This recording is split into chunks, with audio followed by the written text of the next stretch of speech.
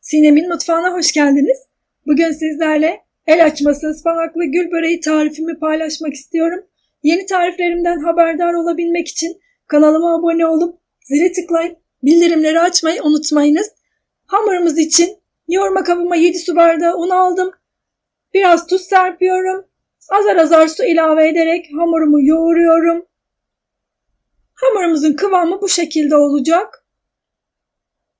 Hamurumu yağla açacağım. O yüzden yağımı hazırlıyorum. Bir çay bardağı sıvı yağ, 100 gram margarin, 100 gram da tereyağı ekledim. Hamurumu tezgahımın üzerine aldım.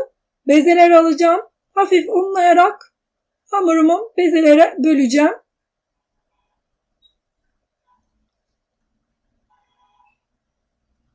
Porsiyonluk hazırlayacağım için küçük küçük bezeler tutacağım. Çok büyük bezeler tutmuyorum. Böyle mandalina büyüklüğünde bezeler hazırlayacağım. Bu büyüklükte yeterli. Bezelerimi hazırlıyorum.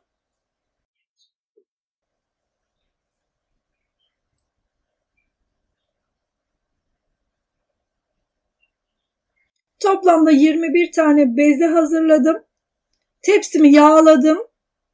Üzerine bezelerimi dizdim ve üzerlerine elimle bastırarak birer yemek kaşığı hazırladığım yağdan üzerlerine koyuyorum. Üzerini jelatinle kapattım. O şekilde hamurumuzu bekletiyoruz. Yaklaşık bir saat beklettim. Bir kilo ıspanak ince ince doğradım. Tuzla ovdum. Suyunu sıktım. Biraz karabiber, yarım kalıp beyaz peynir ufaladım. Bir tane yumurta, iki yemek kaşığı un, iki tane de ince ince doğranmış kuru soğan ekliyorum ve karıştırıyorum. İçim hazır. Açacağım yeri elimle yağladım.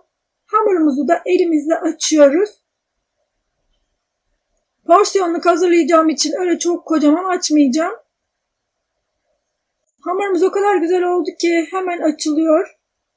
Verdiğim bu tarifle sizler de el açması börekler hazırlayabilirsiniz. Böyle dışı çıtır çıtır, içi yumuşacık, nefis lezzet oluyor. Bakın böyle incecik açıyorum. Açabildiğim kadar hamurumu açtım. Üzerine de ıspanaklı harcımdan serpiyorum.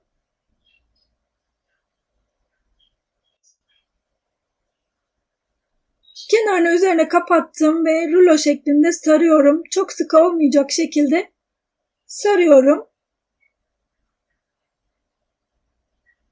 Elimle de şöyle biraz inceltip düzeltiyorum.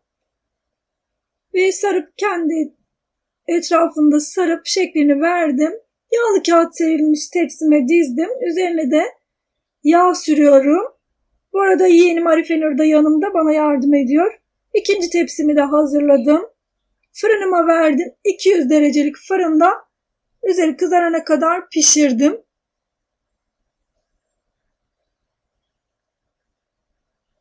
Böreklerim nefis oldu. Dışı çıtır çıtır, içi yumuşacık. Hazırlaması da çok kolay.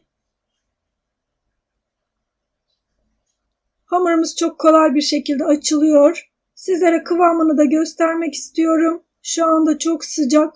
Elim biraz yanıyor. Ama sizlere yine de kıvamını göstermek istiyorum.